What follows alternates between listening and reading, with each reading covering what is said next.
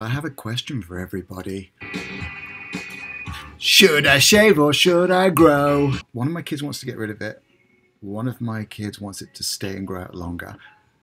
Alexander wants me to, to do a Van Dyke beard, and frankly, I, I don't like driving a van and uh, I don't live near any dikes. So basically, I could look like, like this,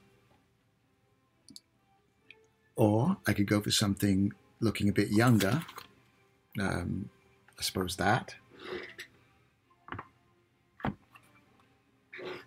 Maybe I should go with a, a, a Willie Rushton or a, a Willie Nelson or a Willie Coyote. Right now, my, my parents are calling me Gandalf the Not So Great. I have to live with that. Well, if it was up to Danny, um, she'd have me make it look like Jason Momoa. Well, actually, she doesn't want this to look like Jason Momoa. She wants this and this and this and all that to look like Jason Momoa. So that's probably out. I think this one's called the Starfish.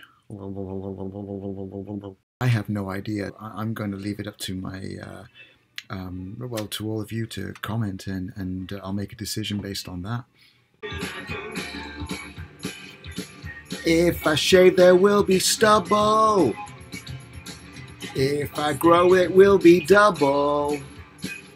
So, come on and let me know if I should shave or if I should grow.